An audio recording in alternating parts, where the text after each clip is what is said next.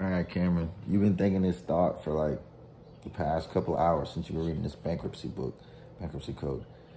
So your dad put this limit. My dad put this limit on you of four thousand dollars a month. There was like this. He always was saying he was complaining about having kids to me, his child, which I don't, I can't do anything about. But he was complaining to me about how when me and my brother came along, my older brother Keenan he had $4,000 in bills every month. $4,000. And he was running a landscaping business and had some equipment or something like that. I don't know specifically. But he, because he was just complaining, complaining. He had $4,000 in bills a month. Oh my God, $4,000 in bills a month. And you never realize this till now because you're about to be bringing in passively $4,000 a month that he set a limit or a glass ceiling on your potential, right? So that potential is like $48,000 a year, which I've like, I mean, I've had 50,000 cash and just like spent that. I blew that in like two, three months, right? So, but cash flow, the actual be like, oh yeah, I'm making, I'm bringing in this income every single month of $4,000 consistently, not like big deals or big projects, but just cash flow, like little stuff, which in reality it is, it's just little stuff. And there was that limit put into your psyche all those years ago from him complaining, even though it's not my problem, complain to somebody else or go fix the problem your damn self. So now that I'm actually like interviewing all these people who are putting in a lease for my property and they're saying, oh, they make three to five thousand, or they make four thousand, or they make twenty one dollars an hour, or some stupid, or they make like fifteen dollars an hour, or whatever. All of these people, yes, I'm a rent to them, but they also don't have high credit scores. So their their credit scores are not above really six hundreds. They either work like some type of nine to five job or some like low paying salary job which pays like 15 to 20 dollars an hour. And i mean they're just it's just a different type of people which is why you own the house that they're renting from. And they're double your age right? They, they're like some of them are like 40 right? So get that in your mind that that $4000 limit you're about to smash through it right? Because i mean the house is 1200 so 1200 plus I don't know 38 no 2800 is $4,000 a month passive cash flow right? So I'm about to smash through that number in passive cash flow not even active. So the point is that limit that dad put in us of just oh $4,000 a month was so tough and I lost everything. I lost my house and I lost my marriage, lost my kids. None of that shit is your problem. In fact, none of that shit is even a major problem. All of those things are minor. You can get a house back. You can get more love. You can get your kids back in your house. Just do the work every month. Really, because I'm asking these people, how much you make a month? One person's like, Oh, I don't know how much I make, but I know I can pay the rent. Okay, how much is that? Well, I don't know how much that is, but I know I can pay the rent. Like, okay, you're denied because of lack of income. Well, you don't know how much I make. You don't either. Click. You know you can pay the rent, but you don't know how much money you make. You don't know anything important. People are like, like, everyone should be paying attention to how much money they're making every month. Otherwise, you're just twiddling your thumbs. Even if you are going out there making money, it's important to know that, oh, in the past three months, I've made $12,000. So that means for the year, I can expect to make forty-five to fifty thousand dollars. Like that's like where I'm at. That's just the marker. But like me for me, growing up, just having that like limit set, it's been so hard to get to that level. And the people who are on the $4,000 level, I'm telling this person, I'm like, no, you shouldn't be like that. No, you shouldn't be like this because I've just always had this fear of my dad. I'm just like, oh no, I can't tell him no. He's telling me no, so I have to be up under him. When in reality, I'm free to do as I want, and I've been free to do as I want since I moved out six years ago. It's just taken a really long time to get out from under that psychic block, right? Glass ceiling, some people say. That's the whole point of even being in business on my own is to not have a glass ceiling. So still it's taken six years for it to undo itself. So all, all the mistakes and all the bad businesses, pay attention now.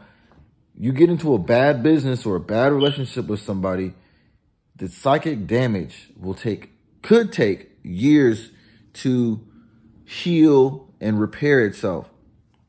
It's part of the reason why I'm doing this um, boxing is because it makes me stronger psychically to be able to go into a fight and fight with the client and fight with the customer for the money that I deserve, for the value that I'm giving them. I'm giving them good, so I got to force or put the good into them if they're not listening to it. Like I told this one lady, call this call this uh, lender. He'll do he'll do the application for you. 15 minutes. And then I'm, not, and also here's the second lender in case that one doesn't work out. A day later, oh no, oh, well she texts me, yes, okay, I'll I'll talk to him when I when we get home today.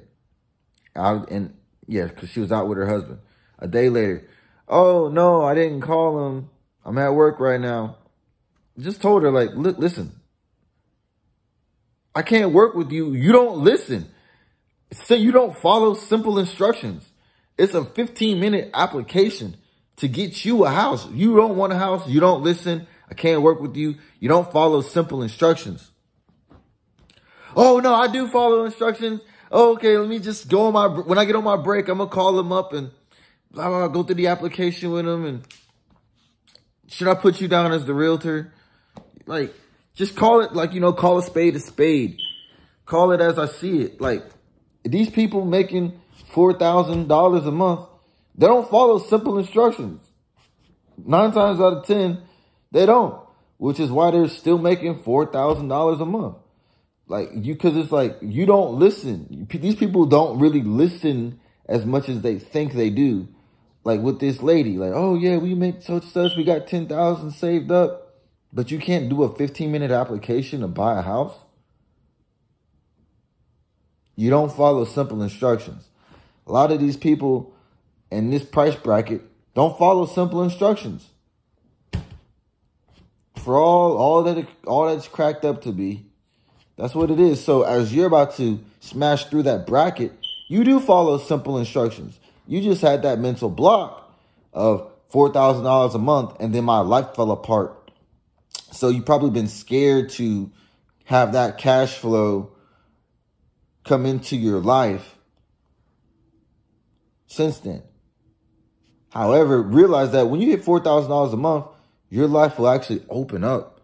Like I can already see all the freedoms and things that I want to do to make me more powerful and stronger opening up before me.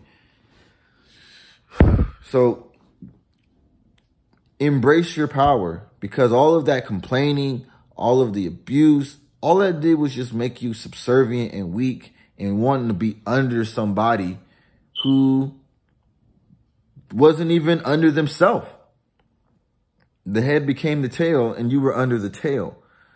So now that you're, you've always been the head and now that you've got your head out of your ass and you see that, okay, this, this quote unquote glass ceiling is broken you can really fully grow up like to what the knowledge you've been putting into yourself allows you to be and all of the challenges that come along with that you're able to succumb them. I mean you've done things most people would have would have died by now honestly. Like you you don't you don't almost die twice you have been all over the we've been all all kinds of places in the world you've been to south america you've gotten into um rooms that people have are making hundreds of millions of dollars talked to them, met them, seen how they are personally, and you can do the same.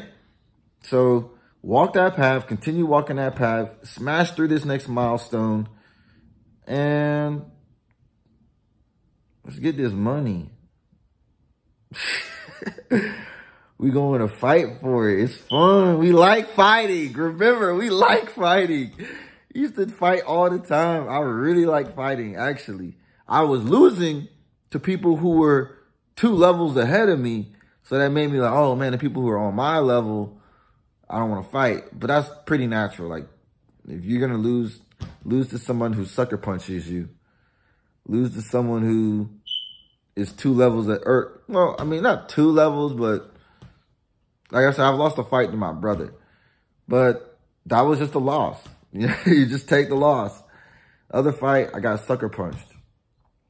Other fights before that, I was just fighting all the time. Like I remember, remember Nick used to fight Nick all the time over. I don't even remember what over. We was just always fighting. Like what happened to that, bro? Like what happened after we moved out of that neighborhood? Oh, you wanted to go cut grass with your brother. He wouldn't let you. It made you feel like lesser than. And I could have went and just found my own grass to cut. But my, remember mom was saying I was getting lazy and not wanting to do it. I just lost my motivation because my brother didn't want to let me hang out with him. Whatever the case may be, that's the case. It's kind of like, you know, as I've been watching more movies, it's kind of just how brothers are. It's like, hey, yeah, I got my own friends. You can go make your own friends. Such is life. No hard feelings. just move on. And I, I would get stuck in that stupid bullshit. Oh, no, he's not my brother. And he don't love me, which is makes no sense. But that's just like younger brother type of mentality of also feeling like I'm under somebody when, again, I'm not. I've always just been ahead, been my own person. If I never mentioned I had a brother, no one would ever know. So it's just all this like cluttered all this clutter in my fucking head is finally coming out because it's just like, bro, go get your life. go have fun, do the fight for the life you want, win, win, train for it, get more power, go more places, money, cars, clothes, the hose. You know what it is. Bro, $4,000 a month, I blow that in a week. Swear, I've done that. I went and bought a car for 4000 cash, cashed out on it. My Mustang. That was like snap of the finger. So with this money coming in, I'll be able to save more. I'll be able to just hustle.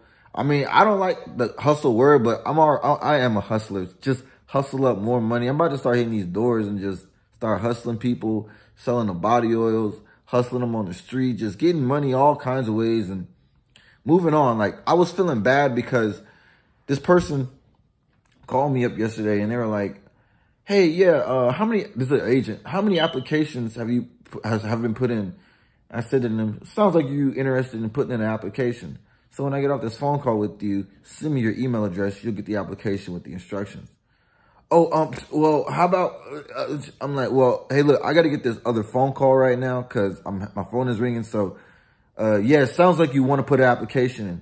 Yeah, well, you didn't tell me how many, like, she said, how many applications? I don't have to tell you that. How is a help word? I don't, I have the power in me to help or to not help. Me telling you how many applications doesn't help me. So that's just my power. Like, I was waking up, I was thinking about this stupid shit. I'm like, bro, that was like way yesterday. Move on, forget about that. But really what it is, it's it's power. To the power to allow and the power to deny recognize what the hell it is. Like, I denied her help. I can do that because I'm powerful. I can deny people access. That's one thing about it. Like, I can allow or deny whatever I want in my life. Like this painting.